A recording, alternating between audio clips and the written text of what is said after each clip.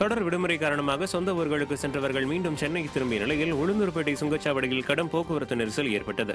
உளுந்தூர்பேட்டை சுங்கச்சாவடி அருகே உள்ள மன்னார்குடி ஜிஎஸ்டி சாலையிலிருந்து விருத்தாசலம் சாலை மேம்பாலம் வரை சுமார் நான்கு கிலோமீட்டர் தூரம் ஆயிரக்கணக்கான வாகனங்கள் அணிவகுக்கின்றன இதனால் அந்த சாலையில் கடும் போக்குவரத்து நெரிசல் ஏற்பட்டு வாகனங்கள் மெதுவாக ஊர்ந்து சென்றன.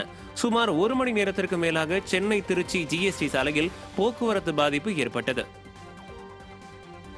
மின்வாரிய அலுவலகங்களில் ஐந்தாயிரம் ரூபாய்க்கு மேல் மின் கட்டணம் செலுத்தும் நுகர்வோர் வரவோலையாக அல்லது ஆன்லைன் மூலமாக மட்டுமே மின் கட்டணம் செலுத்தும் நடைமுறை அமலுக்கு வந்துள்ள நிலையில் இதனால் மக்கள் கடும் சிரமத்திற்கு ஆளாகியுள்ளனர்.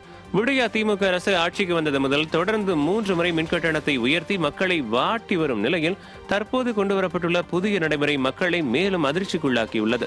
இதற்கு முன்பு வரையில் பத்தாயிரம் ரூபாய்க்கு மேல் மின் கட்டணம் பதிவாகும் நுகர்வோர்கள் தங்களது மின் கட்டணங்களை வரை ஓலையாக அல்லது ஆன்லைன் வாயிலாக செலுத்த வேண்டும் என்ற நடைமுறை இருந்து வந்தது. இந்த நிலையில் அந்த நடைமுறையை ஐந்தாயிரம் ரூபாயாக குறைத்து விடிய அரசு உத்தரவிட்டுள்ளதால் மின் நுகர்வோர்கள் மிகுந்த சிரமத்திற்கு ஆளாகியுள்ளனர். பகுஜன் சமாஜ் கட்சி தலைவர் ஆம்ஸ்டாங் படுகொலை வழக்கில் கைது செய்யப்பட்ட ஆற்காடு சுரேஷின் மனைவி பொற்கொடிக்கு செப்டம்பர் இரண்டாம் தேதி வரை நீதிமன்ற காவலில் அடைக்க நீதிபதி உத்தரவிட்டுள்ளார். பகுஜன் சமாஜ் கட்சி தலைவர் ஆம்ஸ்டாங் கொலை செய்யப்பட்ட விவகாரத்தில் சென்னை புளியந்தோப்பு ரவுடியான ஆற்காடு சுரேஷின் கொலைக்கு பழிக்கு பழி வாங்கும் விதமாக கொலை செய்ததாக கூறி எட்டு பேர் சரணடைந்தனர். இதனையடுத்து சரணடைந்தவர்களிடம் நடத்தப்பட்ட விசாரணையில் திடுக்கிடும் தகவல் அம்பலமாகியுள்ளது.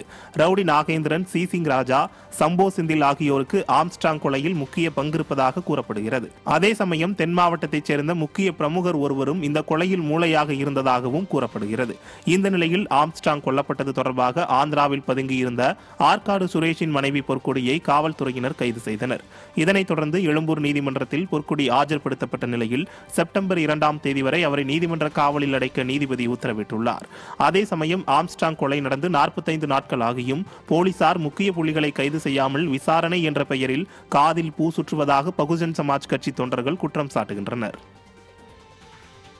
கன்னியாகுமரி மாவட்டம் சுசீந்திரம் அருகே பதுங்கியிருந்த ரவுடி செல்வம் என்பவரை காவல்துறையினர் துப்பாக்கிச்சூடு நடத்தி கைது செய்தனர். தூத்துக்குடி மாவட்டத்தைச் சேர்ந்த செல்வம் மீது ஆறு கொலை வழக்கு உட்பட இருபத்தி ஏழு வழக்குகள் நிலுவையில் உள்ளன. அவர் தலைமறைவாக இருந்து வந்த நிலையில் அவரை போலீசார் தேடி வந்தனர். இந்த நிலையில் திங்களன்று தேரூர் பகுதியில் பதுங்கியிருந்த அவரை காவல்துறையினர் பிடிக்க முயன்றனர். அப்போது காவல்துறையினரை தாக்கிவிட்டு தப்ப முயன்றதால் சுட்டு பிடித்ததாக கூறியுள்ளனர். ஆனால் பொதுமக்களோ விடியா திமுக ஆட்சி அமைந்ததிலிருந்து காவல்துறையினரை திமுகவினர் தாக்கிய போதெல்லாம் நடவடிக்கை எடுக்காததால் தான் ரவுடிகள் தலையெடுத்ததாக குற்றம் சாட்டியுள்ளனர். அப்போதெல்லாம் பெயரளவிற்கு கூட வழக்கு பதிவு செய்ய காவல்துறையினர் தயங்கிவிட்டு ரவுடிகள் மீது பாய்ச்சல் காட்டுவதாக பொதுமக்கள் விமர்சித்துள்ளனர்.